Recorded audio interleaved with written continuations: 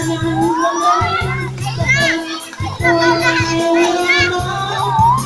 sa akin, pag-ibig, masaya.